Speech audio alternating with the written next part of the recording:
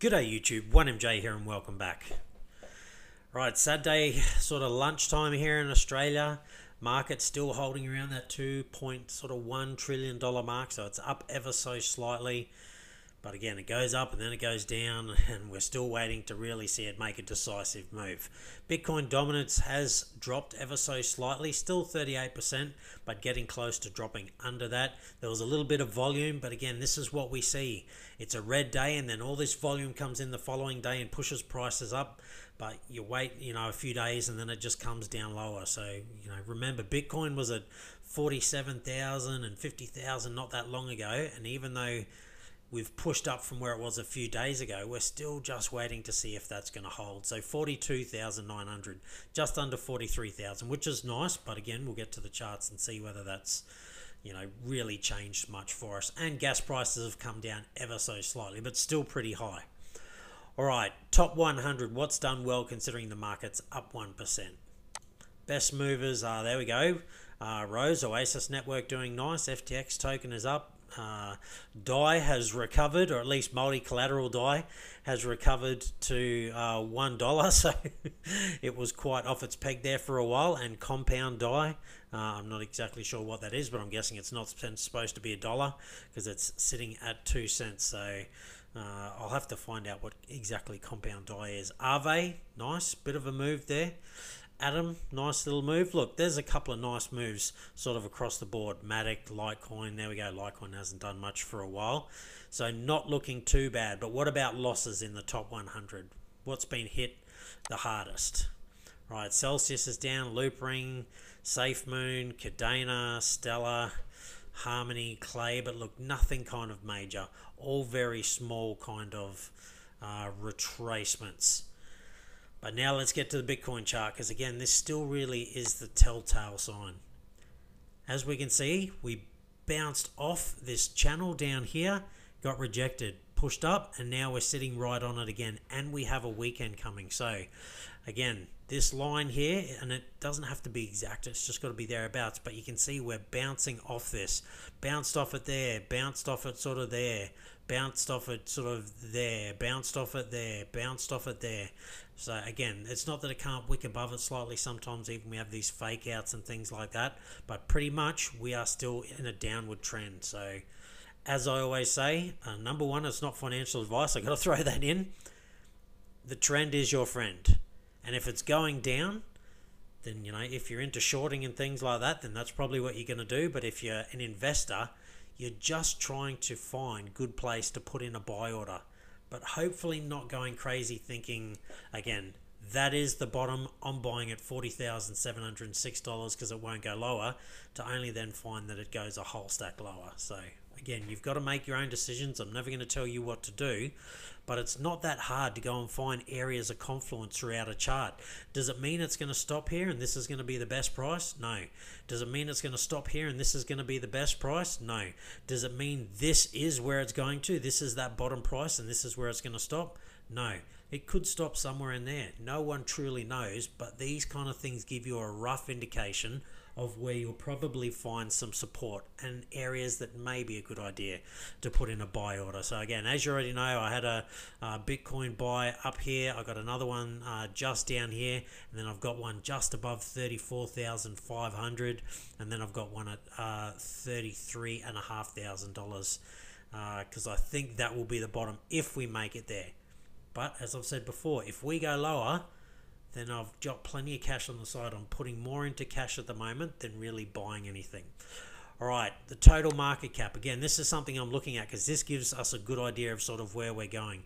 Still on a downward trend here, and we haven't even been able to come up and touch this line yet. So we're still a ways off from really the market making any decisive moves. And look, we could bounce around here for quite some time, but I just get the feeling like around about sort of February, March, we're going to get a change one way, one way or the other. Whether it's for the good, I you know spot Bitcoin or something gets approved or regulation comes out. They're already talking about uh, that coming in the next few weeks, and it wouldn't surprise me if we go all get it sort of around about the same time. So spot Bitcoin ETF gets approved. Sweet. Uh, a week or two later, then regulations come through, which uh, you know the spot Bitcoin ETF could push Bitcoin up. Then the regulations aren't as favorable as what everyone else is thinking. Then it pulls it down for a little while before it eventually you know makes its decision whether it's going higher or lower. But look, there's a whole stack of different things out there that could really happen. So we just need to be careful. And the other one I'm looking at is the Ethereum chart. Now, it does still look somewhat similar to Bitcoin's chart, just not exactly the same. These are the lows that we saw over here. These are the highs. Sorry, here's the lows we saw over here, and there's the high. Peak, peak, peak, peak. Just a little bit different. This rolled over more.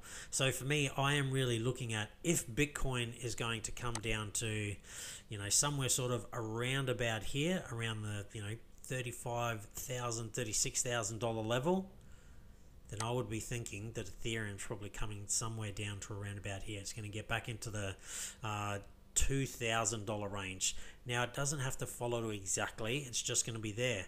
But again, here are some points that I put in. We couldn't hold, and looks like this is now acting as resistance. So, if it doesn't break through, and it could, still early in the day over there, but we got the weekend coming, I would suspect that we could range around or again push down to this kind of low point here where we can see there's a couple of touches uh, here and you know you can probably no because that was the high all right so we've got a couple of touches and it's both resistance and support and we can see it wick down to here so I would be suspecting that you know if Bitcoin goes down to the kind of $36,000 levels I think you could you know put put in a buy order for Ethereum around sort of $2,762 thereabouts.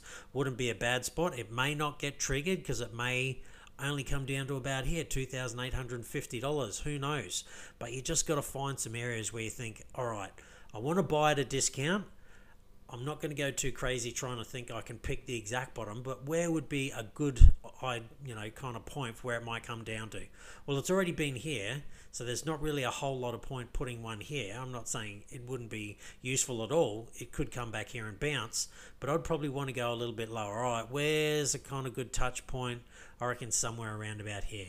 So $2,915, thereabouts. Seems like a good one. Where could be another one after there? Probably going to come down to around about here.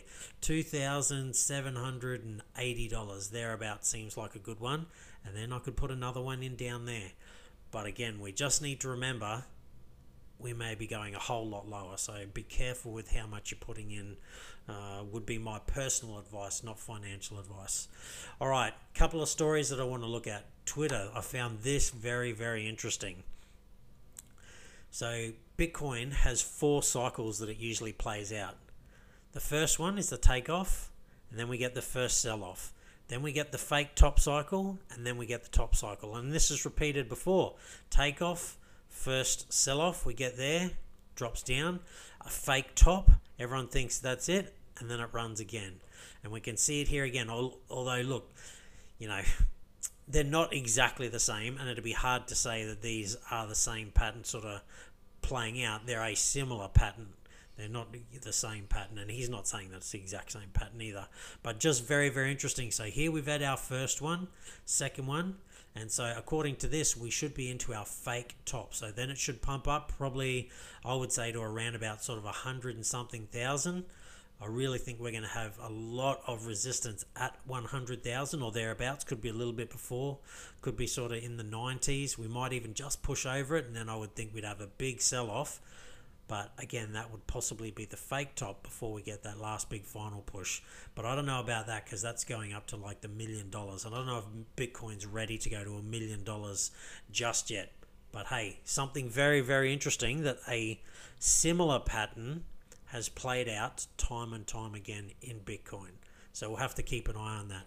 All right, Dogecoin was one of the biggest movers. It moved up 25% because Elon has announced that uh, Tesla will start accepting Doge payments, but it's not for the car, ladies and gentlemen. It's just for the merch at the moment. It's not to say the cars won't come later, but this is all it's taken to push it up. So you can go and buy some merch from uh, Tesla and you can pay in Doge.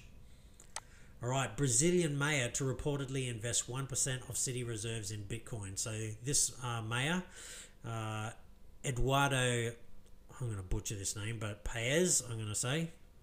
He's been talking to the Miami Mayor Francis Suarez about Bitcoin, and now he's decided to put 1% of uh, the city's wealth into Bitcoin. So this is very, very interesting. I think, again, the pieces are slowly starting to fall in place. Regulation could come and really put a damper on things. That's definitely possible, something to keep in mind. But slowly but surely, you're finding more cities. You know, El Salvador's building its Bitcoin city. Miami wants to become a crypto hub in America. You know, you got the mayor of New York talking about taking his first two or three payments in Bitcoin, I think he said he's going to do. And all these other little things happening. Tonga, you know, possibly going to have Bitcoin as legal payment, legal tender over there. And all these other countries are slowly but surely starting to come around. Now, not all of them. So I think it was Pakistan is going to try and outlaw them altogether. Good luck with that. And China's not really overly impressed with them either. So we'll have to see how that goes but it's bit by bit. You just got to remember all of this takes time. A lot of people come to crypto and they just, you know, think people make hundreds of thousands of millions of dollars overnight. It really doesn't happen overnight. Most of the time, it takes months, bare minimum, to years for those kind of things to happen. It's not an overnight thing, but the it just feels like it's overnight compared to how other you know stocks and things have performed and don't get me wrong some stocks have done really well but they really have taken years and years and years to kind of build up those crazy gains whereas crypto it doesn't take quite as long. It's probably about a quarter of the time to do you know 10 times the growth sometimes. But very very dangerous space to invest your money in if you don't understand the space and cycles and things like that. So my you know number one personal advice would be to anyone coming to crypto just do a little bit of research before you blindly start throwing money in you know outside of sort of bitcoin i think that's a relatively safe bet but still never guaranteed there's always something could happen and bitcoin could go to zero it's not impossible but that would be your safest bet. It's not going to have the crazy gains of the altcoins, but it can still have crazy gains, just not as crazy. And outside of that, you really got to yeah understand the processes and you know what crypto is and what altcoins are and what they do. Be able to have a look at their teams and you know their history and things like that before you really put too much money into this space because a lot of people get burnt. And look, even I got burnt when I first got into it in 2017 but I was I'm going to run with smart enough, but probably just too stubborn to sell. Uh, when it dropped, you know, eighty percent, uh, I was just like, whatever, I'll just leave it, and you know, that luckily turned out to be a really good thing for me because uh, it ended up going back up anyway. And I never put enough into, you know, make like thousands and thousands of dollars or anything like that, but I did. Yeah, I'm going to say a little bit lucky. That was a learning curve for me. I was lucky enough that I was stubborn enough to simply not sell, and that taught me a very valuable lesson. All right, one more thing I want to have a look at. Visa has done a survey, and one in four businesses surveyed plan to accept cryptocurrency payments this year.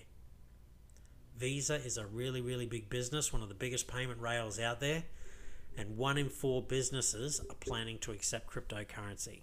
25%, ladies and gentlemen.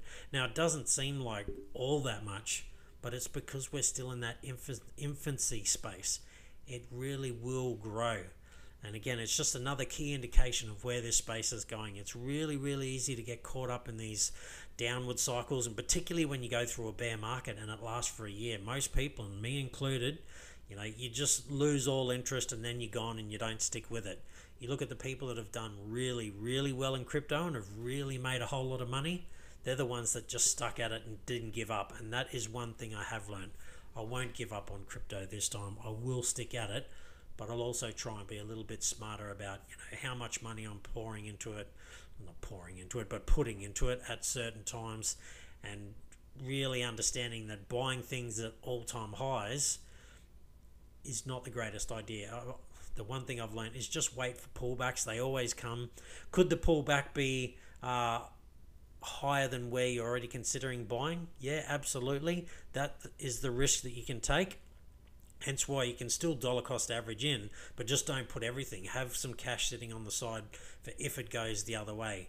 Because a lot of the times when I've bought in at all time highs, there's been a dip come at some stage, and if I had have had some cash on the side, I would have been able to buy at a better price. But early on, I was just constantly putting all my money in, like most people, newbies, thinking this is going forever, it's never going to stop, and then it does stop. all right, that's it from me, ladies and gentlemen. Stay safe, be kind to one another. Still pretty hard to be on that gain train at the moment there, but there were some small gains, so make the most of them, and I'll see you next time.